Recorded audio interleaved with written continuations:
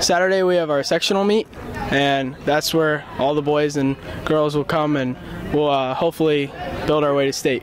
So far, my season's going pretty good. Uh, started off kind of slow, but steady build up, and now we're at the point where everything's looking good for me and for the team.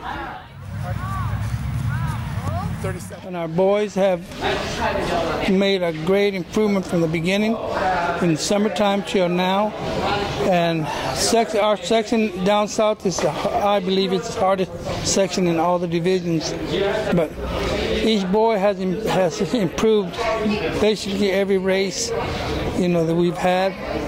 And this last race we had was the East the East Valley Championship, and they all PR'd. You know, they did, they did an awesome job. You know, as far as we're concerned, you know, they they showed that they they want to go to state and they want to qualify at section. I, I believe they're going to do it. We're so excited. We have um, this is the biggest team that we've had since I've started coaching, and uh, lots of good talent on both the girls and the boys side. Uh, so we're real confident going into sectionals this weekend on Saturday. I think um, the boys as a team could qualify for state. Uh, girls kind of they have an outside chance. We have a few uh, individuals that would qualify for state uh, with their times.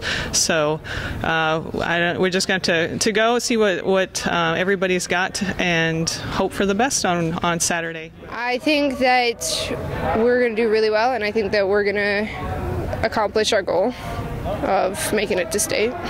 It was really good. We have a good team. I like it. Hey, go!